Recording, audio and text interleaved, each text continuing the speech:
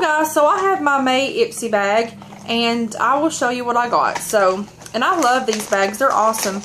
Um, so let's see what I got this month. So, and the bag looks like this. And like, I had been watching videos, but I, I was thinking the bag was like uh, plastic material, but it's not. It's like real cloth. And it's really, um, like organic looking. I love this bag. So yeah, and it's really big too. So, let's pull out this little card and see here. The name of this bag this month is Fresh Picks. So, the first thing that I see is this Hang 1050 um, Classic Sport um, sunscreen protection. So that'll be good for this summer. I don't know if it's like, if it has a scent to it or not.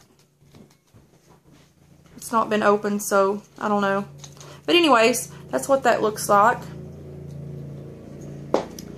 And then my husband's mowing if you can hear that outside, so I'm sorry about that. The next thing is this Purlisse, I guess. And it's um, for normal, dry, sensitive, anti-aging skin, I guess. And it's moisturizer. So, yeah. Gently smooth over face, day, night, after cleansing and toning for extra treatment. Use the other kind of serum for this. So, that's pretty neat. and then, let's see what this is. This is the thermal spring water. And I don't really know what this is either. It's something for your skin, so got that. And then this is a nail teeny um, nail polish. So that's cool. And I love the nail polishes um, Ipsy sends. And this is a really um, nude natural color. And this is in Frappe. And it looks like that. That's a really cute bottle too. And then the last thing that I got. And I think everyone got this.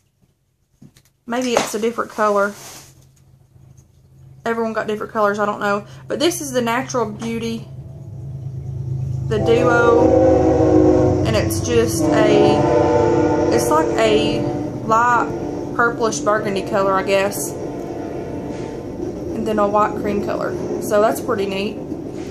I always like to try new eyeshadows too, so. But anyways, that is my um,